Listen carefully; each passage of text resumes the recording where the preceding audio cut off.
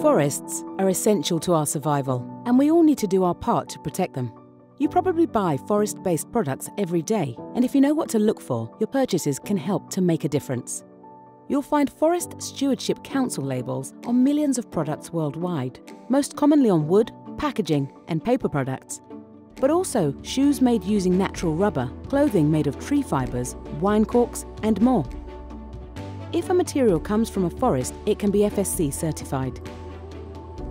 Forests that are managed responsibly, according to the FSC standards, help to protect animal habitats, maintain biodiversity, protect old growth trees, ensure zero deforestation, protect the rights of Indigenous peoples, and ensure fair wage and safe work environment for workers.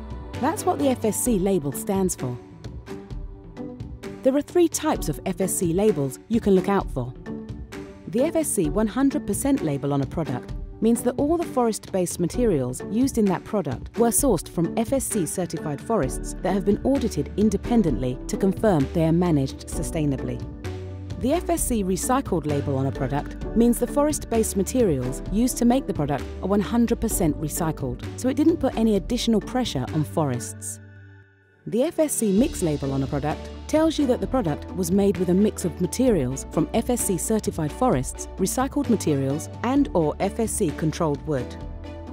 It's not always possible to make a product using only material from certified forests, and FSC controlled wood limits the chance that it comes from an unacceptable source, such as illegal logging.